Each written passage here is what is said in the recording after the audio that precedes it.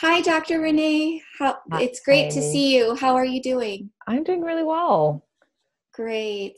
given the You look situation. great. Yeah. Well, I'm so excited we could have coffee together today. I'm Yes. I'm really I'm really excited to meet with you. I'm I'm also doing well. I just got married. Um, as you know, I, I just got back from my honeymoon last night and honeymooning during a, a pandemic is interesting, but uh, we, we made the most of it. So Congratulations, was and Amy. Thank you so much. so Thank happy. you. So, um, I'm really excited to talk to you because you've been doing a lot of speaking and a lot of writing around emotional intelligence. And Mhm. this is something that, you know, is right in the work that we do as, as coaches, but something I've really identified as an, a very important conversation to have right now, especially during the, the current situation. So, Mhm. um, I'm really excited that you could take the time to be with us today. And I know your ideas and thoughts will really help a lot of leaders as they navigate these times. So, what I'm curious, um, what has kind of driven you to want to start talking about emotional intelligence, and how do you how do you really even define it in the work that you do? Yeah. Uh, well, I would say, first off, the definition of emotional intelligence uh, to me is simply being able to perceive and understand and manage emotions and feelings, as well as judiciously and empathetically be in relationship, whether it's at work or your personal life. Mhm. uh, that's navigating that is uh, different than IQ. You know, IQ is more of like reasoning, analytical, mathematical, even logical side Mhm. of the skill set uh, for IQ. And there's so much research, research after research that shows that the, the value of emotional intelligence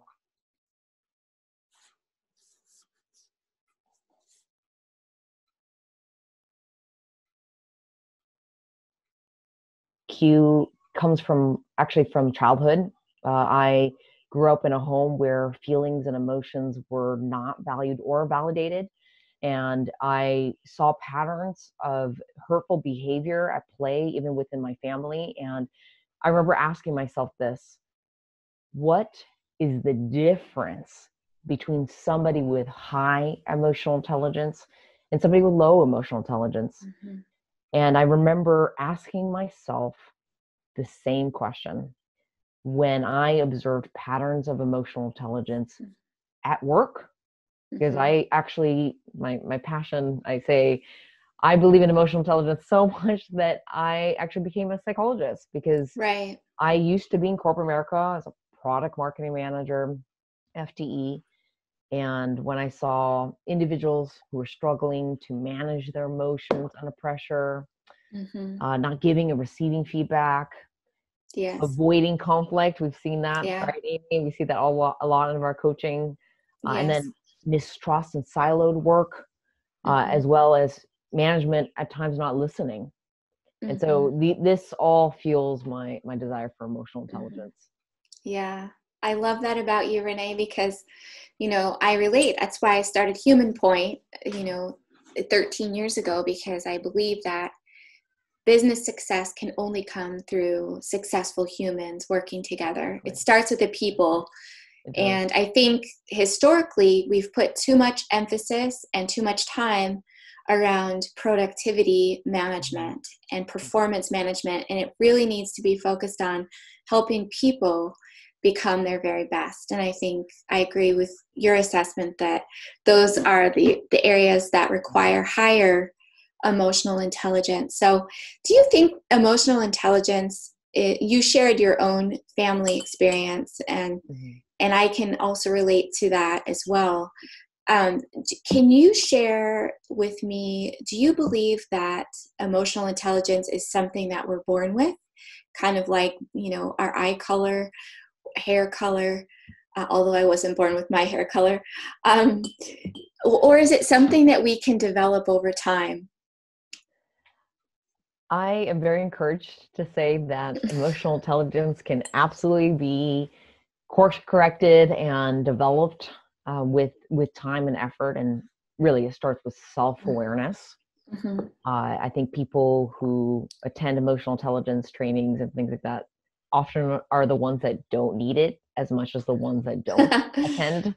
And that's my opinion. And so uh, I believe that it starts with self awareness. It is a rude awakening at times to mm-hmm. realize that all the crutches that we use, whether it's avoiding or the way we mm-hmm. manage our emotions, um, it actually doesn't work.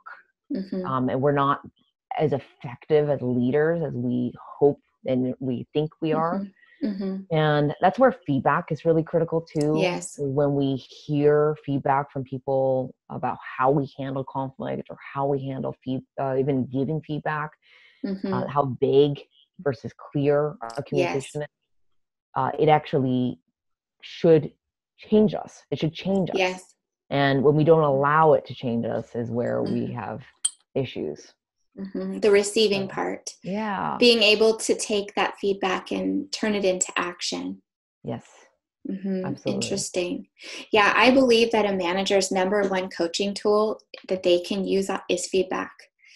And I, I believe, you know, even though we we provide coaching as a business, I believe the best coach that you could ever have, if it's done well, is your direct manager because they're with you all the time and they can be mm-hmm. really you know on on the spot giving feedback that can really be transformative if they do it well. Mm-hmm. and if we're able to receive that feedback. Well that's encouraging to hear that we can get better um, and become more emotionally intelligent over time. And i love that you focused on self-awareness as that place because if we're not willing to focus on ourselves mm-hmm. and our awareness how are we going to be emotionally intelligent with other people? Absolutely Mm-hmm. So, how have you? What has been your observation or your experience uh, with emotional intelligence behaviors like self awareness and others' awareness and empathy in this virtual work environment that we're in? I see you're, you know, working from home today. I'm working from home today, and our interactions are in this virtual environment now. So, what have been some of your observations around how how EQ plays out in this virtual work environment? Yeah. I think there's a big push for using virtual and video, et cetera, to take the place of in person, especially in this world that we're in right now. Um, but mm-hmm. I, I, would have to say this research doesn't really support that. The research mm-hmm. shows mm-hmm. that there it's actually quite taxing to be on mm-hmm. video a lot. It's it's mm-hmm. it's hard to read cues.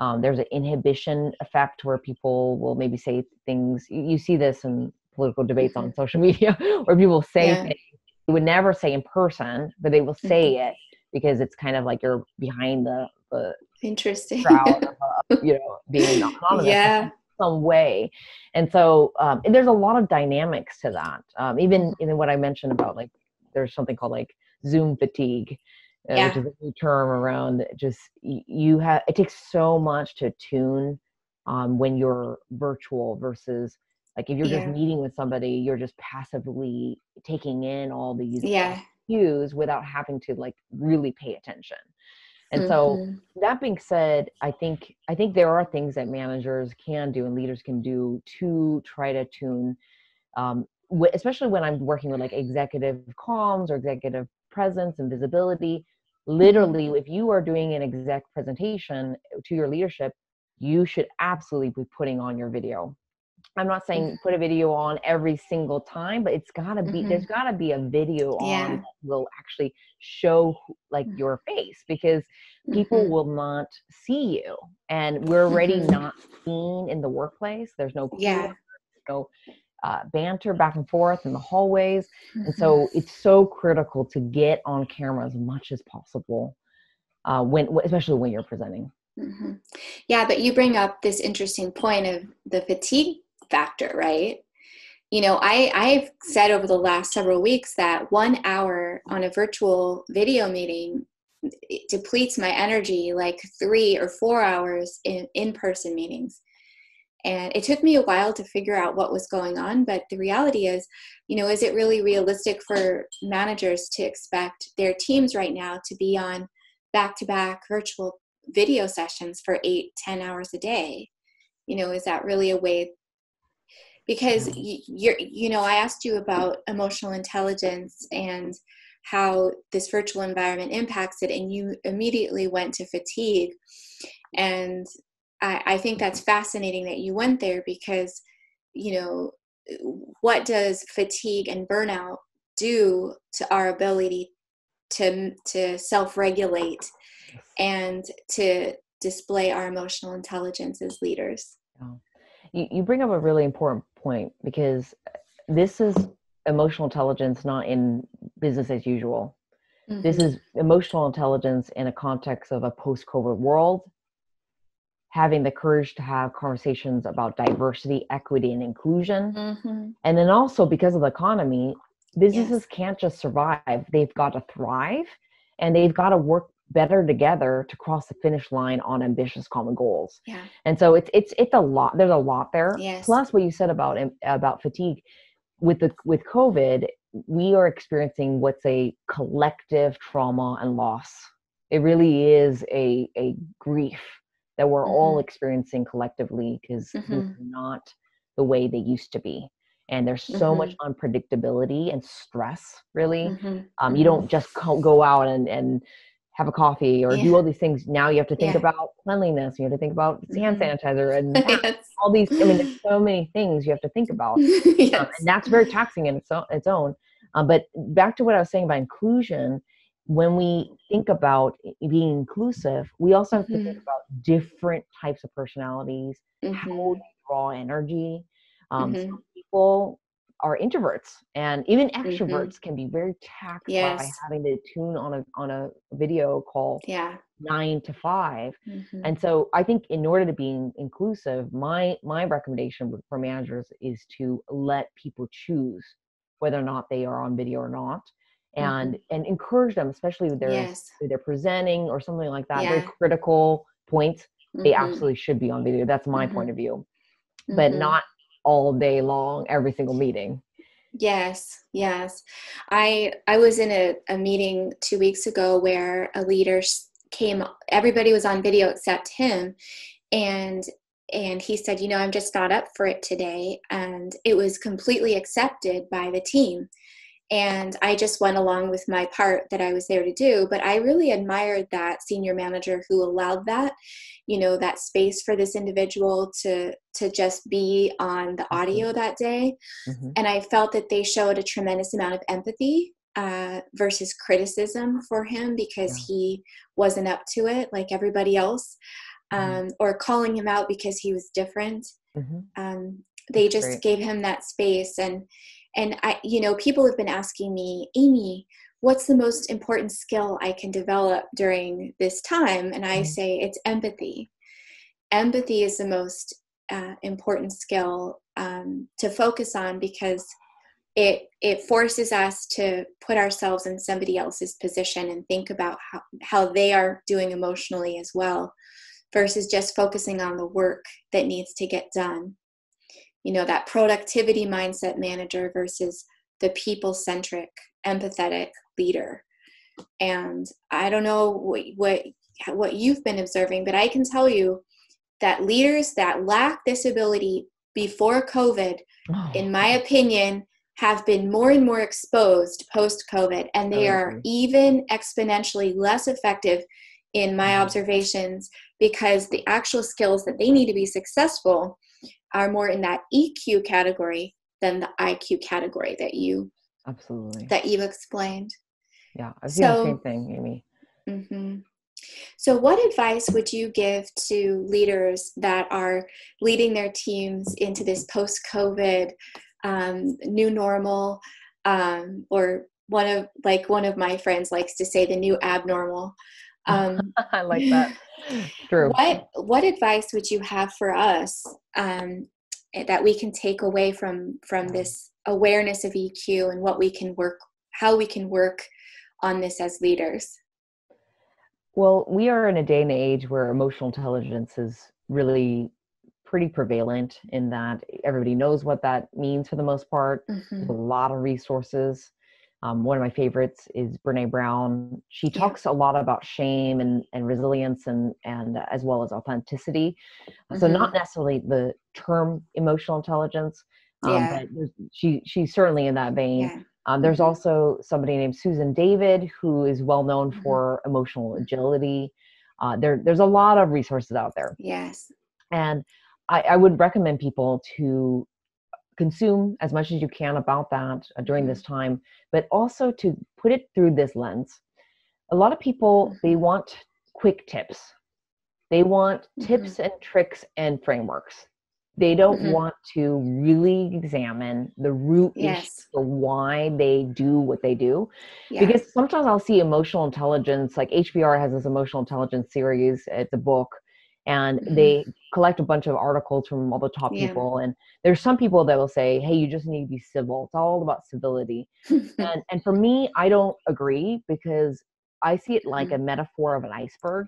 You Mm-hmm. Yeah, see a certain amount yeah, above the, yeah. the water, right? And and then and then like let's say somebody's not being helpful with conflict Right. or somebody's being really difficult you see what's Mhm. above but you don't see what's Mhm. underneath Yeah. for yourself but if you can examine the story you tell yourself the way you think maybe it's shame driven maybe it's insecurity maybe yes.